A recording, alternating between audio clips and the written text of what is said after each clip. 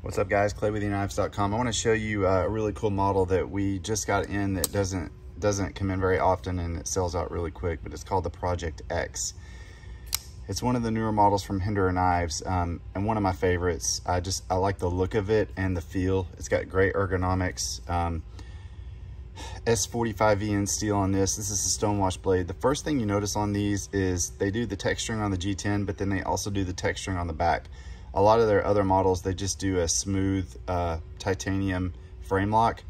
Um, but this model, they do some texturing on it, which is really cool. Um, I like the uh, clip point style blade on this as well. They've got a lot of different versions. Uh, we've got some bronze, um, some bronze anodized frame locks. We've got some uh, working finish, and then we've got some stone wash. So um, a lot of different options. They of course do the different colored G10s uh, on these, and my favorite is this blue black. Um, I just like the contrast of it. It's got a great look. So anyway, really, really great action on this flipper as you would expect for a Hinderer knife. Um, and it's just, it's a larger, it's a larger, you know, a larger knife. Not everyone's going to want to carry this size, but I personally love it. So, um, but this is another in the lineup of the Hinderer knives collection. This is the Project X and it does have something unique is the backspacer is actually a tool that can be popped out and used to take apart the knife. So this is a really cool option as well on this model and something unique.